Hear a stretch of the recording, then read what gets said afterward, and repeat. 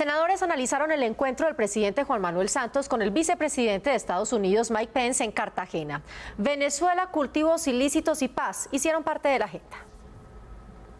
Como estratégico calificaron los senadores el encuentro entre el presidente Juan Manuel Santos y el vicepresidente de Estados Unidos, Mike Pence. Un mensaje claro por parte de Estados Unidos hacia Colombia en el sentido de querer seguir cooperando, que trabajemos mancomunadamente en todos los frentes. Nos da tranquilidad en cuanto al respaldo que se tiene de Estados Unidos al proceso de paz. Valoramos enormemente la ayuda y la alianza, queremos conservarla y queremos conservar la ayuda.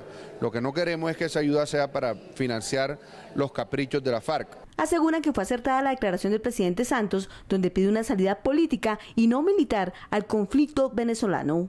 Me pareció muy apropiado que el presidente Santos le dijera que en Colombia no somos partidarios de la intervención armada en Venezuela. Fíjese usted, yo que no soy santista, tengo que hacer un reconocimiento al presidente. Viene que le haya dicho que pensar en una acción militar contra Venezuela no tiene ningún respaldo en América Latina ni menos en Colombia.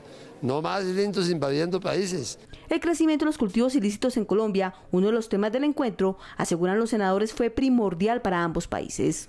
Lo más importante es que debe existir un esfuerzo mancomunado de los dos pueblos, no solamente el pueblo colombiano de erradicar.